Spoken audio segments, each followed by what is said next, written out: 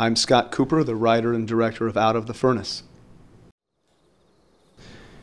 As we come into this scene, Casey Affleck's character Rodney, Rodney. has been begging this bookie with a heart of gold, played by Willem Dafoe, to take him up to fight in the mountains of New Jersey. Woody Harrelson is a crime boss who oversees a bare knuckle fighting society. Reluctantly, Willem agrees. This is the first time that Casey Affleck's character will have met Woody Harrelson's character. I really wanted this scene uh, to be extremely tense.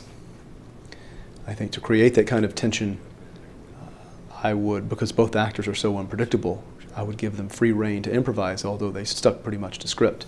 We're standing so close, I guess we could do it right now.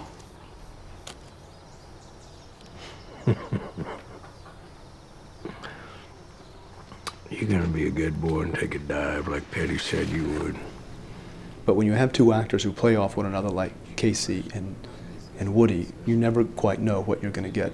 And I would whisper direction into both ears in between takes, both men, to make certain that they were pushing one another. Everything's good. Let me hear you say it. Teach me a lesson. And we shot this in an abandoned warehouse. I wanted this to uh, represent the dark underside of the American dream. The film takes place in Pennsylvania in the mountains of New Jersey. And this scene is structured in such a way as to have an introduction between these two characters that we know is going to be a combustible one. I like this one. He's tough. One of the things that, that I try not to do is rehearse my actors because ultimately the performances, if you tend to over rehearse, they become stale. And I never want to say as a director, wow, I wish I had shot that. I have no one on the set other than my cameraman and the actors.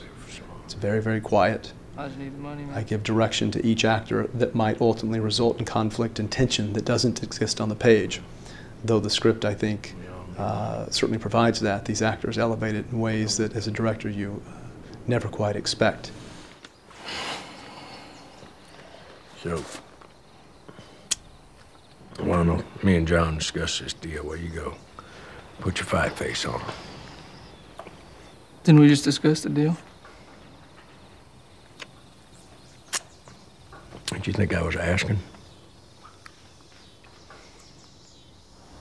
Hey, don't keep your hands off him. Just checking his reflexes.